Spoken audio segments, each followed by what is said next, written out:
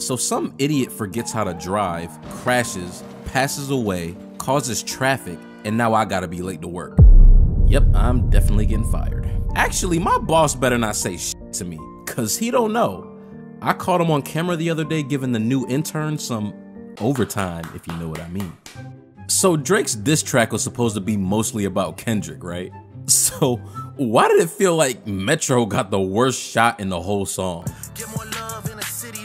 Get more love in the city that you from, nigga. Whoop. Metro, shut your whole ass up and make some drums, nigga. Mm. Did I leave the iron on? I don't know if she notices, but Sydney Sweeney might just be the start of a revolution. A revolution that brings the ass era to an end. Damn.